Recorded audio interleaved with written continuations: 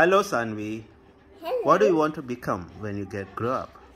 I, oh, since I became a vet, I want to be an artist.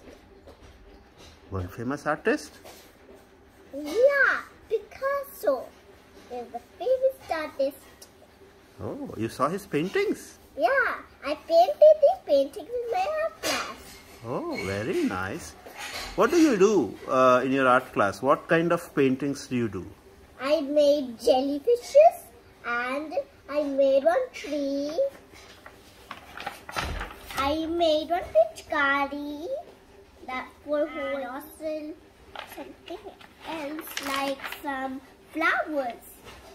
You did all these paintings? Yeah, the rainbow. Oh, Some of this was spring. oh, The spring was going to come. And also some, flowers, yeah, but there are tulips.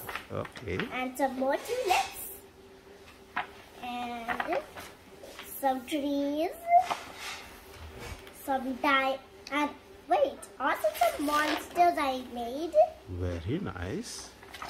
and also Some buildings. yeah some building but I made diamonds Huh. Hmm. and also some buildings ah I made Aurora Borealis. Some ice is there and the colorful sky. Some chickies. This is Sunny Chicken Ma'am Chick. And I used make some Easter eggs for Easter. Uh, aliens. Hey, and also that's it.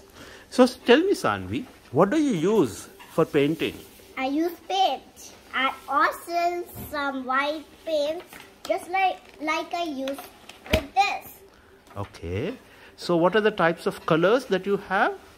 Hmm. I have all of the colors like this rainbow has all of the colors. Okay. So do you do watercolors or crayons or Watercolors, crayons and everything.